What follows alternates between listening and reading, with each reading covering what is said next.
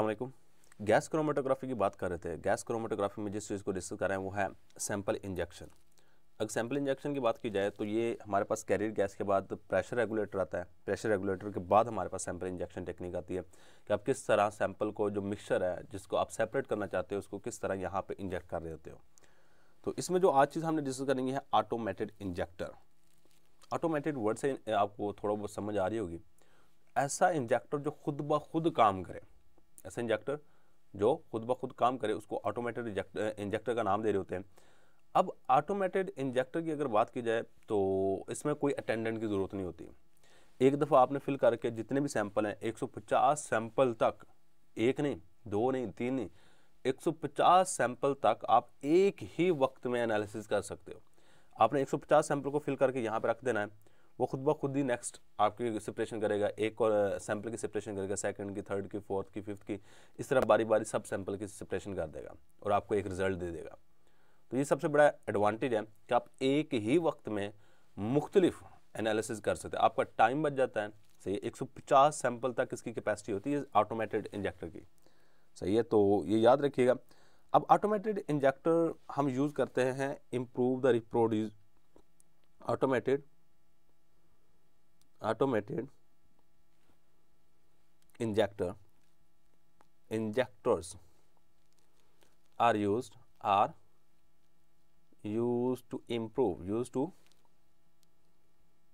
improve the reproduce improve the reproducibility reproducibility reproduce का आपको पता है reproduce दोबारा पैदा करना है रिप्रोड्यूसिबिलिटी दोबारा पैदा करने की सलाहियत है। मतलब आप 150 सैंपल को एक ही वक्त में एनालिसिस कर लेते हो, आप एक सैंपल यूज़ किया, फिर उसके बाद दोबारा फिर सैंपल यूज़ किया, उसके बाद दोबारा फिर एक और सैंपल यूज़ कर दिया, इसको कहते हैं reproducibility ability L I T Y सही, ये बात याद रखनी है।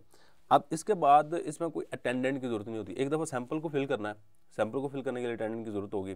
बाद में आपने मशीन प्रोग्राम्ड होती है। उसमें आपने उस मोड पे लगा देना है। उसके बाद सारे के सारे सैंपल खुद ब खुद ही एनालिसिस होना शुरू हो जाता है।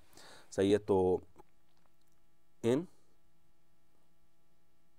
automated automated injector automated injector में no need of no need of attendant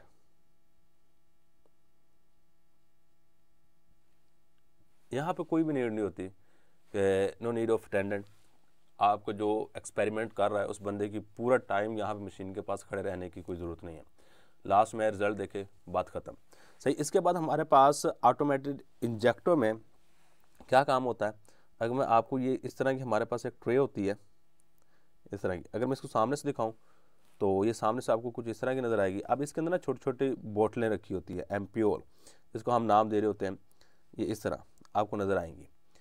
इस हर एक बोतल के अंदर आपने क्या करना होता है, ये बोतल मैं कह रहा हूँ, सही है तो इसको अमूमन एम्प्यूल ज़्यादा अच्छा वर्ड है। एम्प्यूल होती है जिसके अंदर ये ग्लास की बनी होती हैं, और इसको अगर एक एम्प्यूल को निकाल के दिखाता हूँ, ये बच्चे कुछ इस तरह की होगी। इस तरह थोड़ी सी, ये ये हमारे पास एम्प्यूल कहलाती है। अब इसको हमने यहाँ पे एक ट्रे के अंदर अरेंज किया होता है, हर एक एम्प्यूल के अंदर हमने मुख्तलिफ़ सैंपल्स डाले होते हैं और 150 तक हो सकती हैं अरेंज सही है। अब ज़रूरी नहीं आप जब भी एक्सपेरिमेंट करोगे 150 को यहाँ पे डालोगे, जितने आपके पास हैं, आप उतने डाल दो 10 हैं 10 डाल दो 20 हैं 20 डाल दो। सही, जितने भी आपके सैंपल हैं, उसको आपने यहाँ पे डाल देना होता है। डालने के बाद आपने यहाँ पे फिक्स कर देना होता है। बाकी काम मशीन का है। मशीन खुद क्रोमेटोग्राफी करनी है, आपको रिज़ल्ट ग्राफ की फॉर्म में निकाल के दे देगी। सही है। तो यहाँ पे आप एक ही वक्त में 150 सैंपल्स को एनालाइज कर सकते हैं।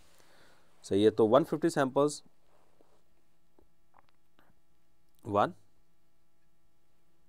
fifty sample can be use can be use in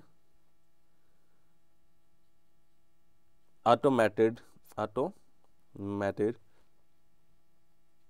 injectors automated injector में 150 तक सैंपल को यूज़ किया जा सकता है। अब इसके बाद एक चीज़ जो मैंने कही, इसको ग्लास एम्प्यूल कहते हैं। ग्लास एम्प्योल कहते आपने सैंपल को पैक करना है ग्लास एम्प्यूल में, या इंजेक्ट करना है ग्लास एम्प्यूल में। The sample is placed the sample is placed आपने सैंपल को प्लेस करना in glass ampoule ampoule glass ampoule के अंदर आपने सैंपल को प्लेस करना होता है। सही है? और जब आपका एनालिसिस होना होता है एक ग्लास एम्प्योर में से सैंपल निकलता है, निकलने के बाद आगे कॉलम में चला जाता है। जब कॉलम में सारी की सारी सेपरेशन हो जाती है, फिर दूसरे ग्लास में से ग्लास एम्प्योर में से सैंपल निकलेगा, वो सारे के सारे कॉलम में जाएगा। तो इस तरह बारी बारी सारे के सारे सैंपल यूज़ हो जाते हैं। सही है तो step by step step by step the sample the samples in glass ampule in glass ampule is used is used and provide result in the form of graph provide result और हमें result मिल रहा होता है in the form of, in the form of graph, form of graph. Graph की form में हमें result मिल रहा होता है, G R A P H लो ये था जी हमारे पास ऑटोमेटेड इंजेक्टर वर्ड पर गौर करो ऑटोमेटेड का मतलब है जी जो खुद ब खुद हो। आपने क्या करना सैंपल फिल करके मशीन के अंदर रख देना, बाकी सारा काम मशीन का है, खुद ब खुद ही एक ग्लास को लेगी उसका सैंपल इसके कॉलम के अंदर रन करेगा रन करने के बाद आपको रिज़ल्ट मिल जाएगा। फिर दूसरे ग्लास एम्प्योर में सैंपल आएगा, फिर तीसरे में, चौथे में से, पाँचवें में से, इस तरह बारी बारी रिज़ल्ट आपको मिलते जाते हैं।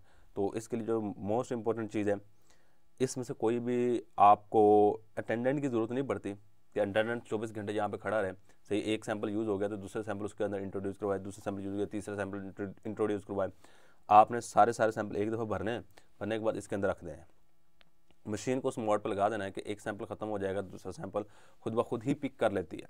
तो ये था जी हमारे पास ऑटोमेटेड इंजेक्टर यही हमारे पास आज का लेक्चर अल्लाह हाफिज़।